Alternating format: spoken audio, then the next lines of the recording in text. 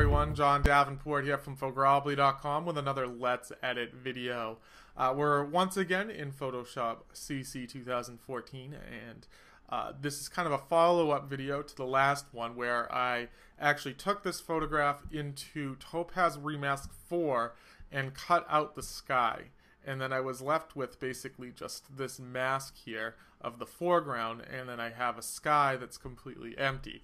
So I've gone ahead and I've found a sky in my collection and I'm going to show you how to go about kind of making this match. You can see right now this photo really doesn't match at all.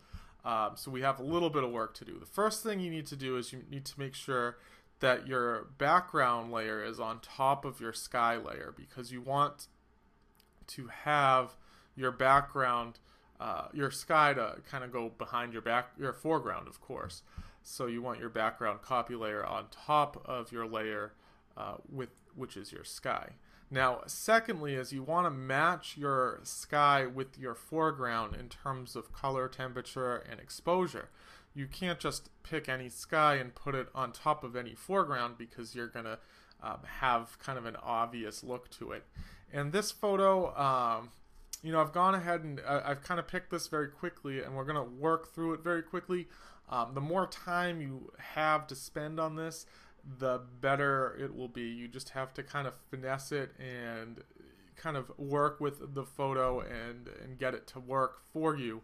Um, each photo is going to be different and every layer is going to be different, but this video should give you a kind of an overview of the concepts of how to go about and do, doing that. So uh, what you want to do is kind of go to your adjustments layer and one of the things I'm going to do here is um, see what happens if I go into the hue and saturation colors or uh, panel here and I'm gonna try and just change things up a little bit I'm gonna drop the saturation down because I think uh, this photograph the foreground is a little desaturated it's very white and gray um, so it's just a kind of feels like it should the rest of the photograph should be like that.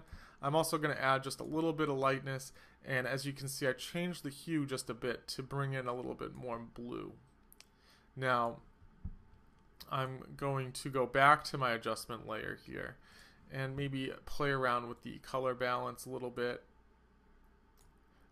just to see how it looks. So I can add a little magenta to give kind of a sunrisey feel to it. Um, you know, if you're changing the sky around, you shouldn't really worry too much about any other edits that you're doing. Obviously, if this was uh, for kind of a documentary or, or news outlet, you probably wouldn't want to go about doing any of these kind of edits. But if you're just having fun in Photoshop, uh, this is perfectly okay. So now I want to go into my adjustment layer here and I want to go to my um, levels for my foreground. So I have my foreground or my background copy selected here. And I'm going to kind of just add a little bit more contrast and kind of brighten it up just a little bit uh, to add a little more more oomph to that foreground there. Um, that's a little too much there. So something like this. And you can see uh, my mask, if you remember before, was a little bit um, rushed. So you can see here there's a little bit of stuff going on. Um, and actually, you know what? If I zoom in here, it looks like the uh, the background of my sky here is actually, yeah, those trees are kind of creeping through. So I can bring this down a little bit more. See what this looks like here. Um, so that looks a little better, and then I can just extend this to the top if I want. Uh, so something like that. Uh, you know, it's it's a quick and dirty way of just changing out the um, the sky here. So this was my original photo, and then obviously with a couple edits uh, and a new sky, it's a different kind of photo. Um, I don't know if it's any better or worse. You can leave your own opinion below.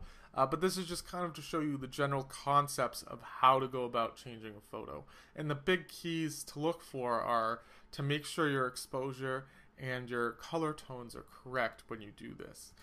Um, or you can just do something like what I've done with this photo in Boston. So I went ahead and I created this mask which I've turned the uh, buildings to black and white, but I've left the uh, water in front in color. And then I've gone ahead and added a sky, which was the same sky we just saw. I added a reflection of the sky on the water. And one thing that I'm noticing here is I have these um, things here. But what, what I'm going to do first, just to see. So, and then I add a reflection of the buildings.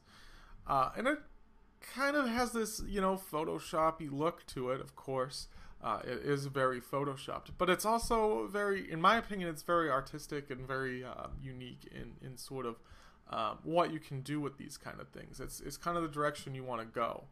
Um, in a future video, I'll show you kind of how I went about creating these reflections.